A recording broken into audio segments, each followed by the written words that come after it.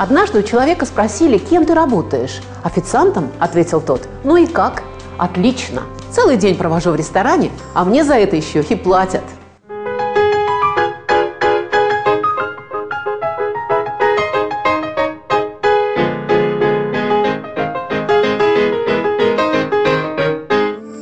Голубчик, сделайте-ка одолжение, принесите-ка рюмочку водочки.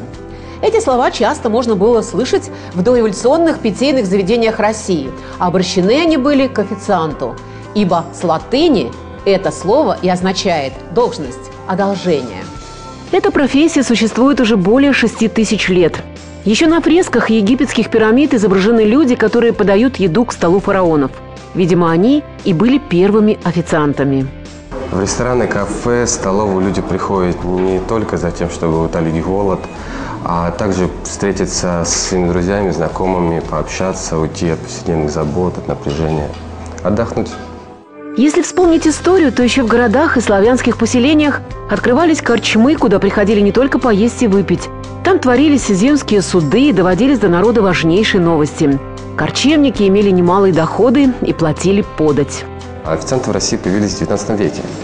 И в это время в России был один единственный ресторан европейского типа. Это «Славянский базар».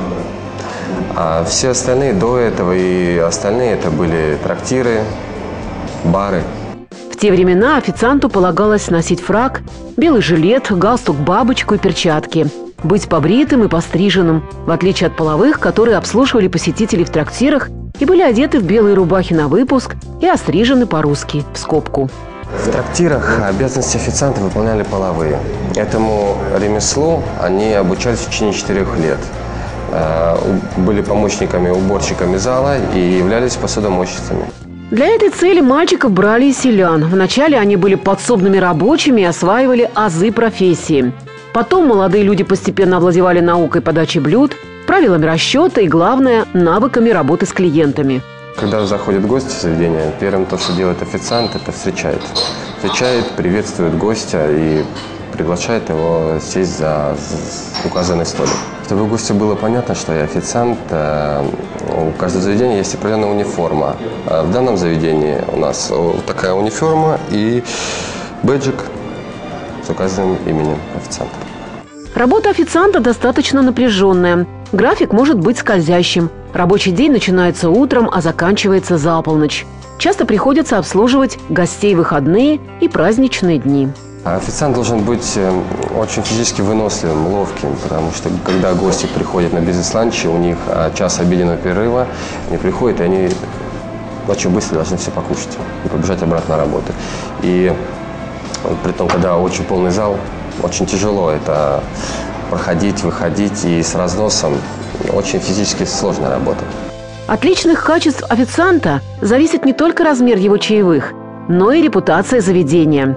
Поэтому он должен быть вежливым, приветливым, эмоционально устойчивым. Ведь э, гости бывают разные, и у каждого свои предпочтения, и официант должен сам подобрать, подсказать человеку, что ему, что он желает. Официант по мере необходимости меняет скатерти, салфетки, поддерживает чистоту в зале. Он сервирует столы, принимает участие в оформлении зала, праздничным мероприятиям. Основная обязанность официанта – это прием заказов посетителей. И нужно по максимуму подобрать гостю, что он желает. Если гость заказывает мясо, то лучше всего подойдет к мясу красное сухое вино. А если морепродукты, это розовые вина. Если белые, то это лучше всего подходит к рыбе. После этого официант должен оперативно и точно передать заказ повару или бармену.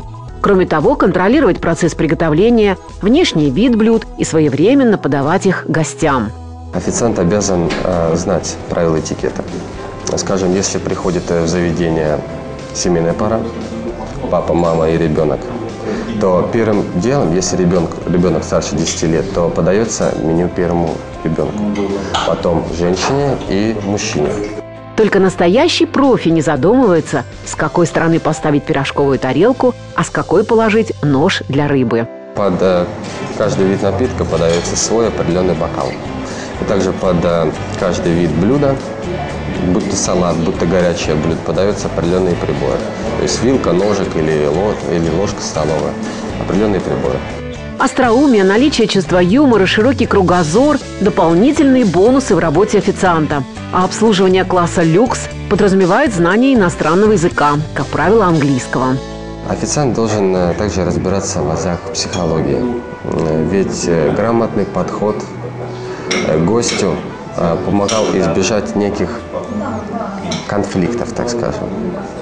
А в Европе официантами идут примерно за после, после 30. У нас же в России зачастую официант, карьера официанта начинается с 18 лет. Среди официантов назначают старшего. Им становится, как правило, самый опытный работник, прекрасно знающий свое дело. Разумеется, не все заведения могут предложить хорошо обуч... обученный персонал. Некоторым заведениям это и, и даром не надо. И гостям, посетителям, которые приходят в заведение, зачастую это даже ни к чему. Ведь они считают официантом это так, пронес, подал. Тем не менее, за хорошо подал нередко дают чаевые. Кстати, само словосочетание «на чай» появилось и прижилось в русском языке примерно в 40-х, 50-х годах XIX века. В толковом словаре под редакцией Дмитрия Николаевича Ушакова это выражение объясняется как «награждение за мелкие услуги сверхжалования». Согласно старой легенде, завезенный голландскими купцами в Англию чай стоил так дорого, что превратился в напиток для элиты. В 30-х годах 18 века среди высшего света было популярно проводить послеобеденное время в особых чайных садах. Это были небольшие цветочные сады с музыкой и танцами. Они открывались в мае и принимали посетителей вплоть до начала дождливой осенней поры. На столиках стояли маленькие деревянные коробочки с надписью «Тип».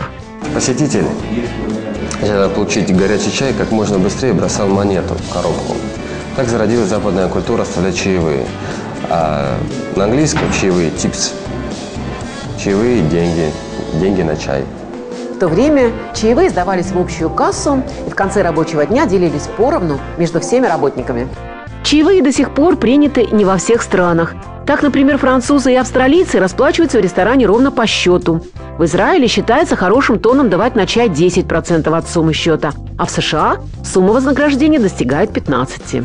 Кстати, есть анекдот в тему, которым я и хочу закончить программу о нелегком, но интересном труде официанта. Как-то одного опытного представителя этой профессии спросили, какова главная мечта его жизни. На что он ответил, чтобы гости ели дома, а чаевые присылали мне по телеграфу. Жаль, что это только мечта.